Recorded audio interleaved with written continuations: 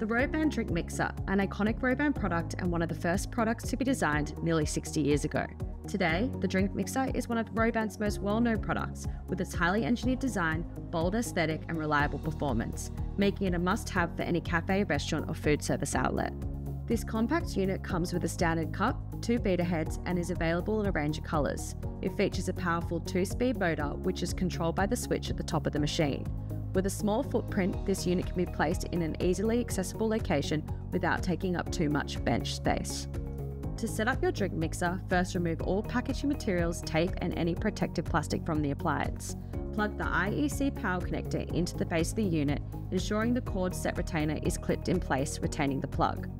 Once connected, place the product upright on a firm level surface in your desired position. Ensure all switches are in the off position before connecting to the power supply. The cup holder or actuator can be positioned in place on the machine by simply using the location holes at the back to position it over the screws and the internal magnets will retain it in place. To check its operation, simply lift the top cup hook up and then release it and the magnet should pull it back down to rest on the lower cup support position. As mentioned, the mixer comes fitted with a two-piece stainless steel universal beater and a moulded plastic satin beater. The two-piece stainless steel universal beater is designed for best performance when using both milk and ice cream. The single piece universal and the satin beater can be used for both ice cream and milk only shakes. Before you begin using your machine, make sure you have the suited beater head installed. To remove a beater head, hold the mixer spindle firmly and unscrew the beater by turning clockwise. To fit a new beater or a beater assembly, assemble the parts in the desired order and then hold the mixer spindle firmly, screwing the assembly to the spindle by turning it anti-clockwise. With the machine plugged in and your desired beater attached, you are now ready to operate. Here we will be using the one-piece universal beater for a milkshake. Select your desired start speed.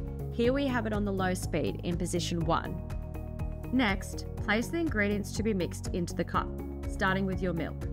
The mixer is designed to work best with a fluid volume of 180 to 210 milliliters. Increasing this could cause product to be thrown from the cup during use. An important tip to remember is that the colder the milk used, the thicker the shake.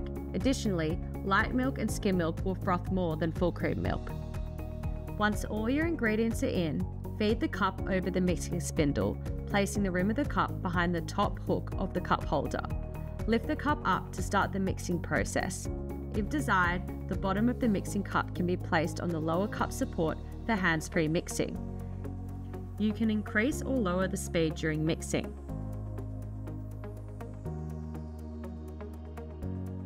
After the desired mixing duration, remove the cup by first lifting and unclipping the bottom of the mixing cup and then lowering the cup to release it from the upper cup support clip. Always make sure you wait for the mixer spindle and beater to stop rotating before removing the cup completely. This will prevent mixture from being thrown off the beater. Cleaning should be carried out regularly after each use to avoid the buildup of spilled liquids. After each use, clean the motor spindle by placing warm water in the cup and then mixing it on a slow speed. For any spilled droplets, the base of the machine can be simply wiped down with a damp cloth.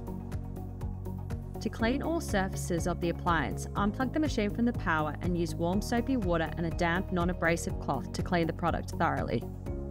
Several times each day, remove the cup holder and wash in warm soapy water to maintain smooth operation and avoid the buildup of liquids behind it.